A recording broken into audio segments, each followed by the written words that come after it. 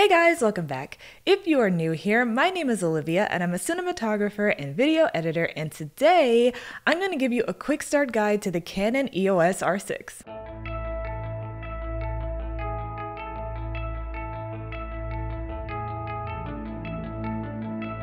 I'd actually planned to include this in my original video for the R6, but I ran into some technical difficulties and so I am making a separate video instead. If you want to see an overview of the R6 and hear some of my personal thoughts on how it works, you can see that video here or I will link it in the description below. But in this video, I just want to go over some of the key functions and show you how to get the camera up and running quickly.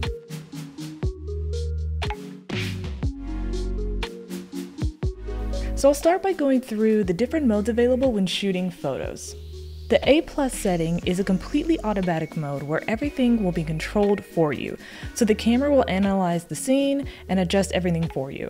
FV stands for flexible value and basically means you could set your ISO, aperture, or shutter manually and combine that setting with one of the other modes. It basically gives you a little more flexibility than completely auto mode. P stands for program and will automatically set your shutter speed and aperture. TV is your shutter priority mode, which means you will set the shutter speed you want, and the camera will automatically set your aperture, and it will basically try to properly expose your subject based on your environment. AV is your aperture priority mode, which means you will set your aperture and the camera will automatically set your shutter speed to properly expose your image based on your environment. M is your manual mode, which means you can change all of the settings to exactly what you want.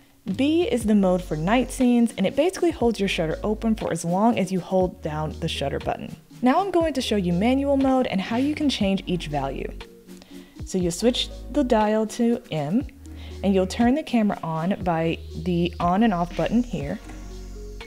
And I like to use the LCD screen, so I'm going to bring that up. And so what you'll see here, usually when you turn the camera on, is whatever it is that you are currently looking at or pointing the camera towards, you'll see the scene. If you want, you can bring up this menu here, which allows you to see most of the settings that are going on in your image. And it will tell you how you can adjust your shutter speed, your ISO, and your aperture. So you see here, this is your shutter speed, this is your aperture, and this is your ISO. And you can adjust the ISO by rolling this dial on the back end of the camera. You can change your aperture, or I'm sorry, your shutter speed by using the dial up top. You can make it lower or higher. And your aperture is actually the wheel behind the camera, which I can show you in a moment. And that allows you to turn and change it here. So again, you have your shutter, your aperture, and your ISO. ISO is changed with the wheel in the back. Shutter is changed with the wheel at the top of the camera. And the wheel behind the camera adjusts your aperture. And hopefully you can see some of the changes that are happening on the LCD screen. So that's me making the aperture really dark and you can change the aperture really bright. And when you're ready to take a picture, you can just press the shutter button, which is right here. Now I want to go through some basic video settings. So to get to video mode, you will just go back up to this dial and you will turn it to the little film looking icon, film camera. And now you're in video mode. And you can change your aperture, shutter speed, and ISO in the same way uh, when you're in photo. So you have ISO back here, your shutter speed up here, and your aperture is the wheel behind the camera. If you want to see more of your video settings, you will press this little Q at the top and it will open up the menu so that you can see everything else. So you'll see that you're filming in manual mode or you could film in auto mode for, for video. I'm gonna I'm showing you manual, so. And then you can also see what autofocus setting you're using. I prefer to use this one, which is the eye. It kind of like uses um, your subject's eye as its focal point to keep in focus.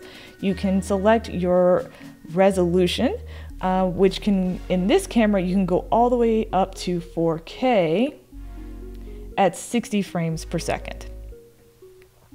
but right now I have it set at 23 uh, frames per second at 1080p. You can also adjust your audio settings. Um, well, this is the audio in camera, and if you happen to have a shotgun microphone on top, you can also adjust the levels here.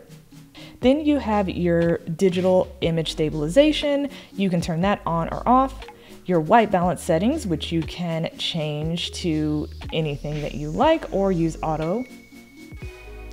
Your picture profiles, which you can do neutral, standard, auto, anything here. And your lighting optimization.